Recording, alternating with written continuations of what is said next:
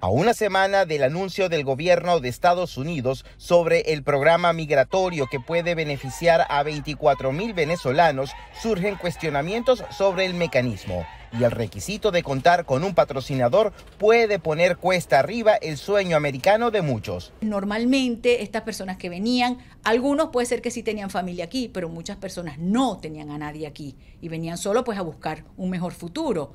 Entonces para esas personas considero que se le va a hacer muy complicado, muy difícil conseguir este patrocinante. Patricia Andrade, abogada especialista en derechos humanos, acusa el enfoque es discriminatoria porque se enfoca solo en una comunidad, que es la venezolana, y adicionalmente a un pequeño número de venezolanos que son 24 mil, no son 24 mil familias. Además, ambas expertas coinciden en que el nivel económico de la persona que asuma la responsabilidad financiera del beneficiario debe ser privilegiado no solamente su capacidad económica, sino que va a tener que correr con todos los gastos médicos de vivienda, que lo va a tener que tener en su casa por aproximadamente dos años. Las personas que tienen un patrocinante o consiguen un patrocinante también tienen que ganar cierta cantidad de dinero. O sea, no puede ser una persona que gane muy poco, entonces no va a calificar.